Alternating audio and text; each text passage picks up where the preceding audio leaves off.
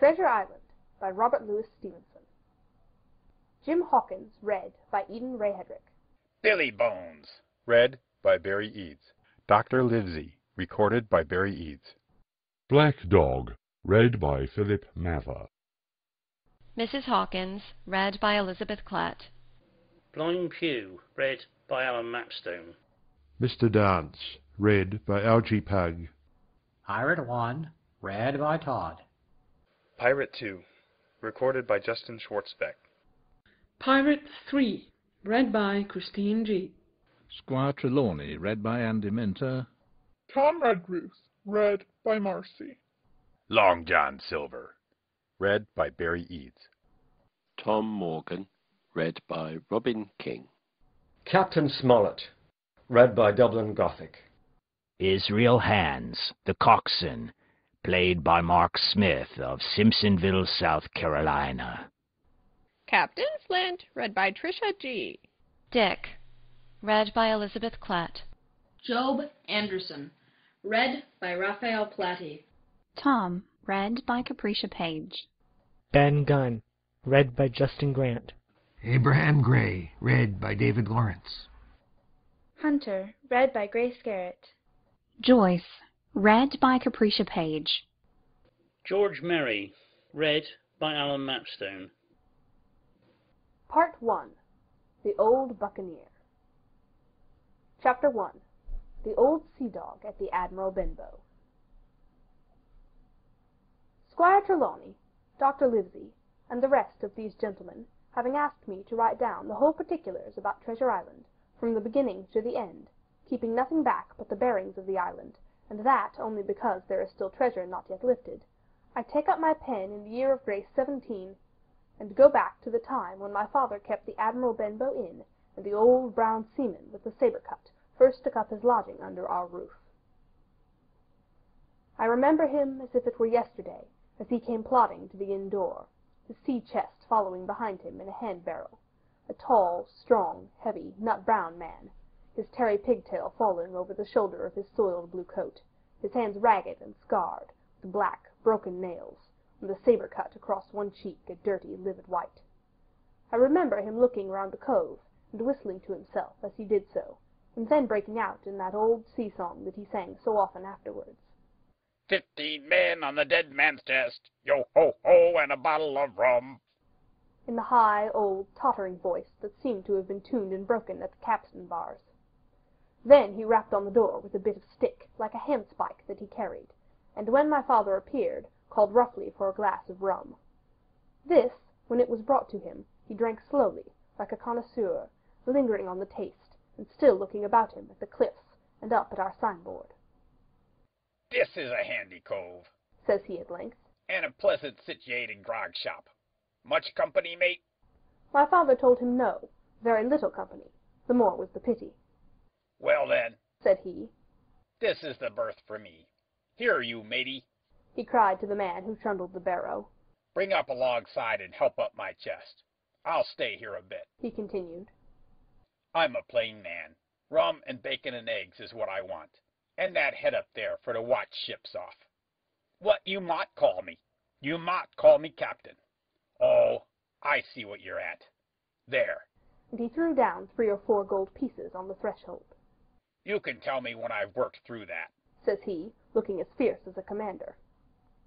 And indeed, bad as his clothes were, and coarsely as he spoke, he had none of the appearance of a man who sailed before the mast, but seemed like a mate or skipper accustomed to be obeyed or to strike. The man who came with the barrow told us the mail had set him down the morning before at the Royal George, that he had inquired what inns there were along the coast, and hearing ours well spoken of, I suppose, and described as lonely, had chosen it from the others for his place of residence. And that was all we could learn of our guest. He was a very silent man by custom.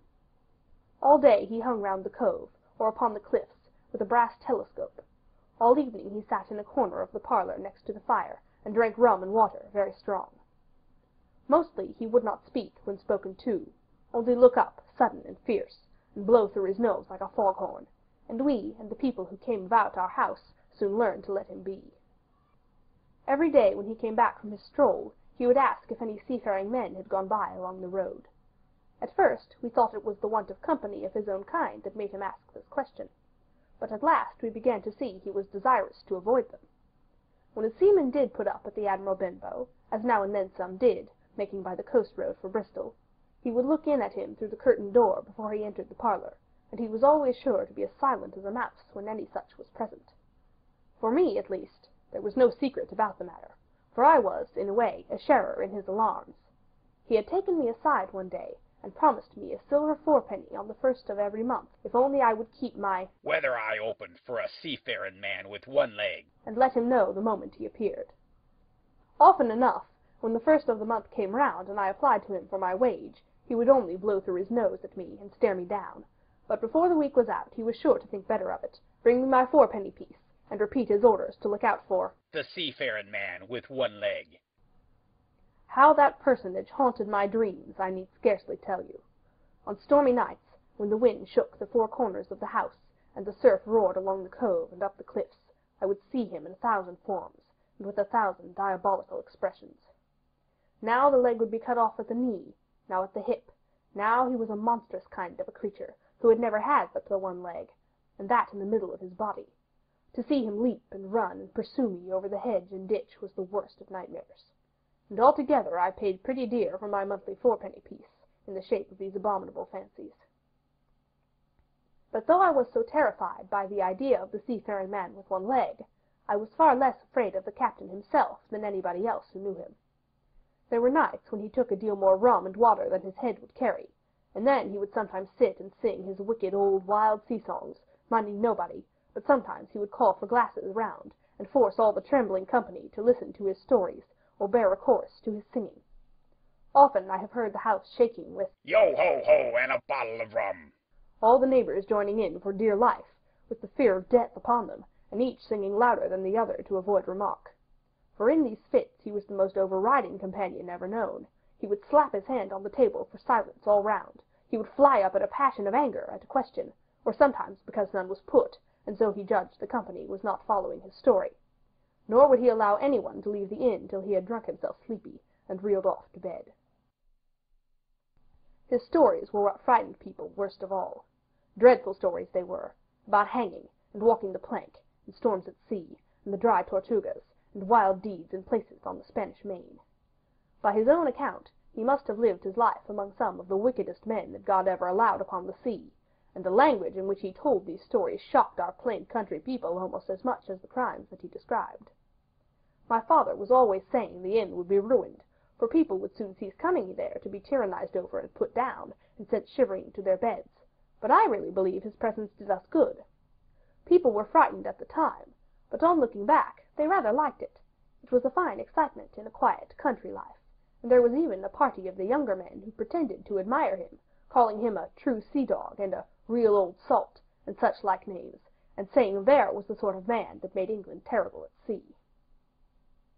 In one way, indeed, he bade fair to ruin us, for he kept on staying week after week, and at last month after month, so that all the money had long been exhausted, and still my father never plucked up the heart to insist on having more.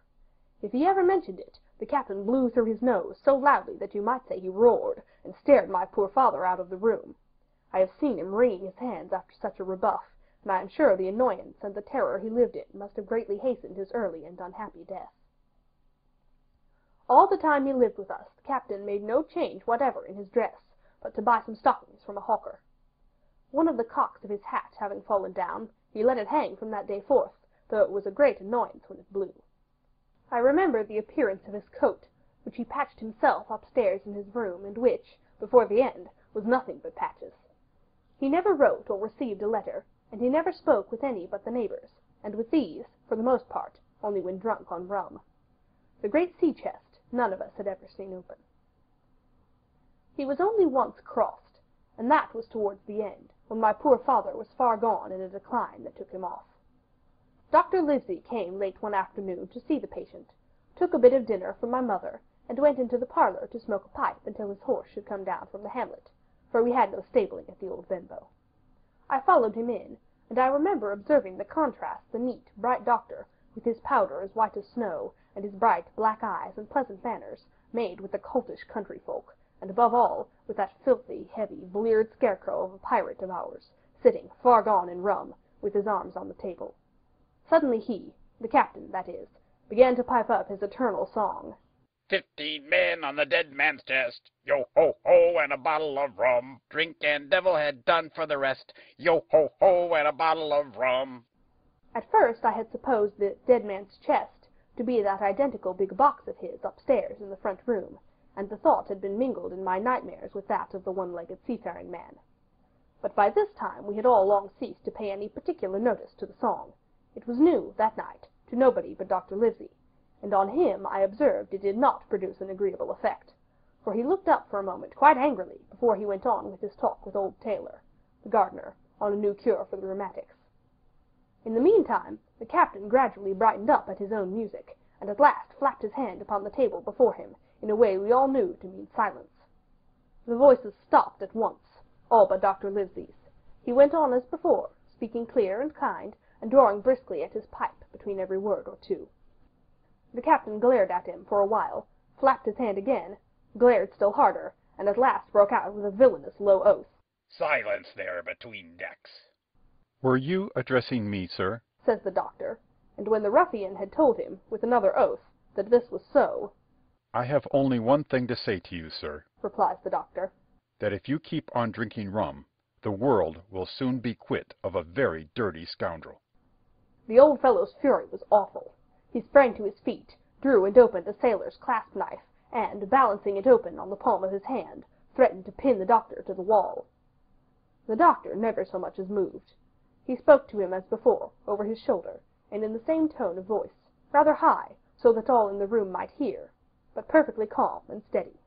If you do not put that knife this instant in your pocket, I promise, upon my honor, you shall hang at the next assizes. Then followed a battle of looks between them, but the captain soon knuckled under, put up his weapon, and resumed his seat, grumbling like a beaten dog. And now, sir, continued the doctor, since I now know there's such a scoundrel in my district, you may count I'll have an eye upon you day and night. I'm not a doctor only, I'm a magistrate, and if I catch a breath of complaint against you, if it's only for a piece of incivility like tonight's, I'll take effectual means to have you hunted down and routed out of this. Let that suffice. Soon after, Dr. Livesey's horse came to the door, and he rode away, but the captain held his peace that evening, and for many evenings to come. End of chapter 1